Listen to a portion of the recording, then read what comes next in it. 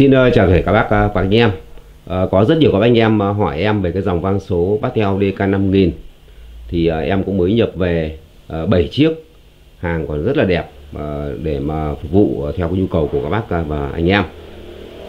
Thì uh, đối với em khi nhập uh, các cái sản phẩm vang số về bán ấy, thì uh, em cũng uh, chẳng mấy khi em phải dở, dở ruột gan giới thiệu các anh em về cái RAM, cái chip, cái tụ, cái nguồn, cái vi xử lý, cái giải mã mà bây giờ một cái khó khăn nhất là khi các anh em mua mua một cái thiết bị công nghệ như là vang số thì các anh em sẽ nhìn nhận và những cái gì? À, để cho các anh em có thể tin tưởng được rằng là đối với một người ngồi tại nhà tại chỗ mà căn chỉnh rất nhiều loại vang số hay như vậy để cho các anh em có thể là tin tưởng để mua thì nó rất khó khăn cho người dùng.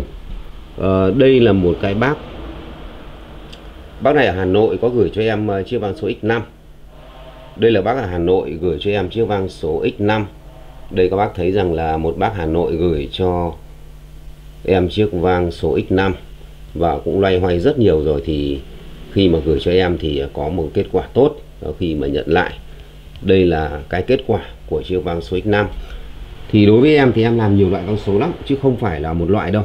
Hàng mới cũng có, hàng bãi cũng có, mà nhập hàng mới về cũng có, hàng bãi cũng có à, đây các bác anh em sẽ thấy được như thế này. À, rất là nhiều anh em như vậy hàng ngày. À, đây là một chú em mà em uh, kỷ niệm uh, file S700 Plus. Chú em này là khách quen của em à, cho nên là em kỷ niệm chú này một file S700 Plus. Đây S700 Plus. Đây chú này là chú uh, khách quen.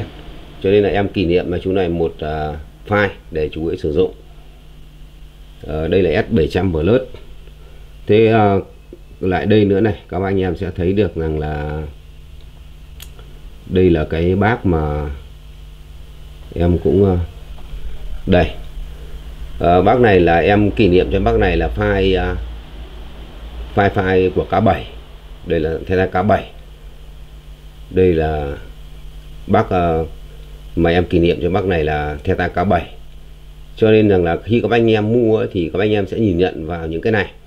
Đây là Theta K7 Theta K7 à, và rất nhiều hàng ngày thì em có rất nhiều các anh em là à, có những phản hồi tốt ờ, khi mà như vậy là đây là DBS 700 này.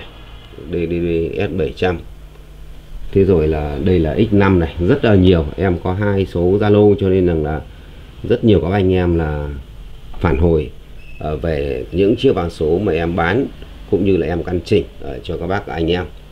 Ờ, đây là cái bác bác này là bác giờ x x5 này.